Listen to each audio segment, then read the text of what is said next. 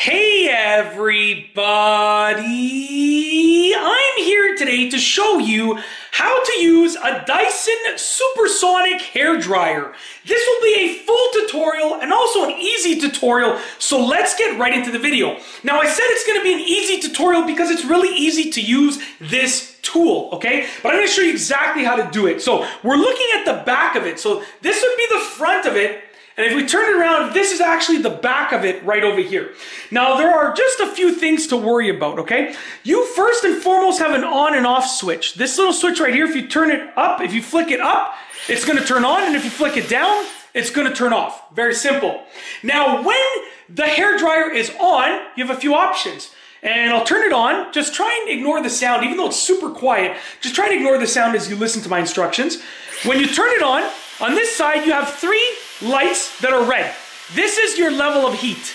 When you push this little red button, it's gonna adjust how much heat there is. As you can see, level one, level two, level three, level two, level one, level zero. One, two, three, and so forth, okay? Three, two, one, zero. Just like that. So you can control how much heat is coming out of it. This right here is your fan speed button. We are fan speed one, two, three, two, one.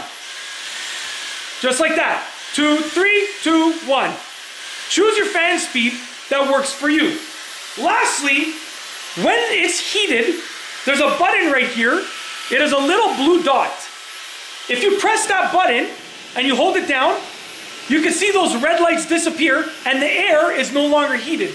So right now it's blowing lukewarm air, pretty much. If I release that button, it goes back to where it was before at the heat level.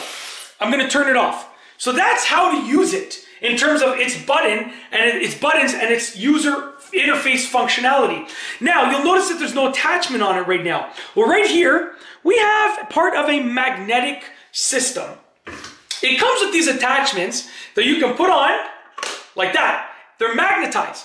It stays on. Trust me, it's not going anywhere, okay?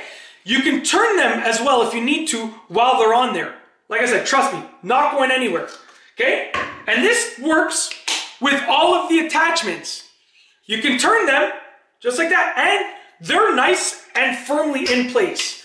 Really super unbelievably easy to use. And you do have the three attachment options, so whichever one works for you, you can you can use it. And there's no need to twist and fumble in place because um, it, they're easy to, to, to put on and remove.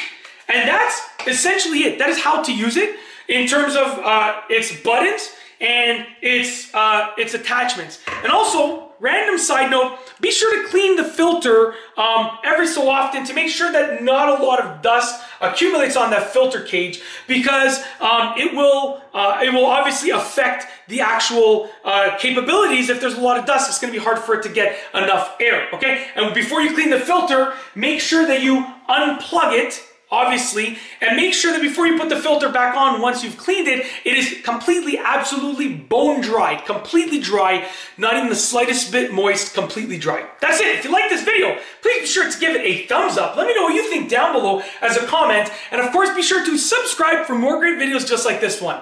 And that's all I have for you today. Thanks for watching.